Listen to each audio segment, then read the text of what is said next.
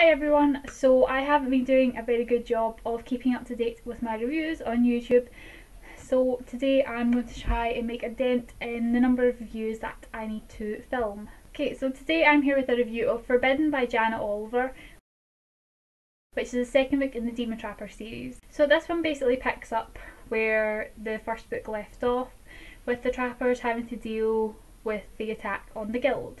I'm not going to go into any more detail of what happens in this book since it is the second book in a series and I don't want to have any spoilers in this. So our main character Riley was still a complete badass in this book but she had a hell of a lot to deal with. One, her boyfriend was acting really really weird. Two, she was having to deal with the hunters from Italy accusing her of working with the demons.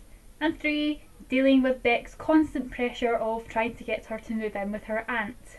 So yeah, Riley had a lot on her plate in this book. I just love her attitude. She doesn't care what people think of her. She doesn't feel like she has to prove herself to anyone apart from her dad and she just she just likes being herself and I really love that about Riley. She'll stand up for herself.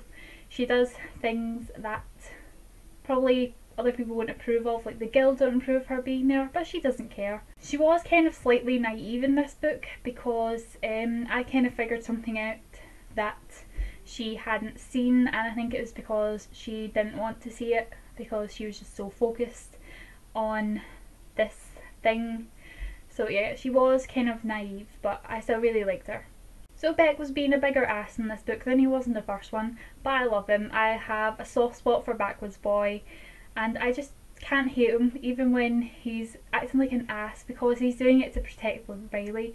He cares about her a hell of a lot even though he won't really admit how he actually feels about her and I really wish he would but uh, he just acts like that because he wants to protect her and keep her safe and it's so sweet of him. He's got this really sweet side that he doesn't show a lot but yeah he's one of my favourite characters. So Simon Riley's boyfriend was such an ass butt in this one. Seriously, I just really wanted her to punch him in the face because he really deserved it. In the first book he was such a goody two shoes, such a sweet, nice, genuine guy, but in this one he was such a dick. I'm like, he's, I, could, I couldn't believe the change in him, I really couldn't, it shocked me and I really hope that Riley does punch him.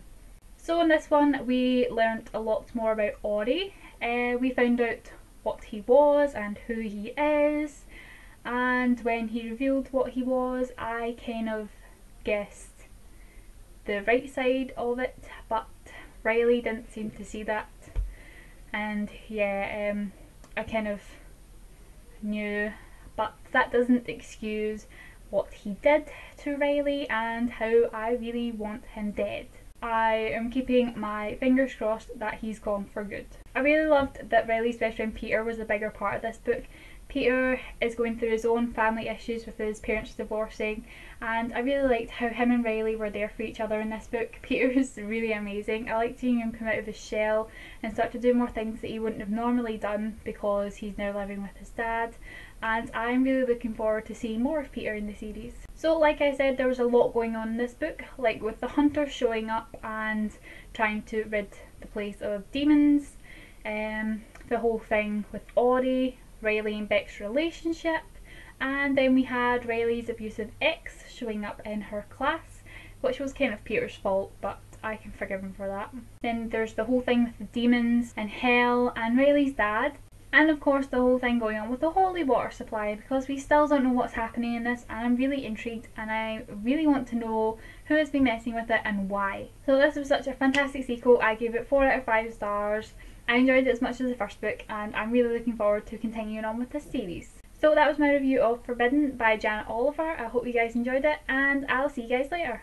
Bye everyone!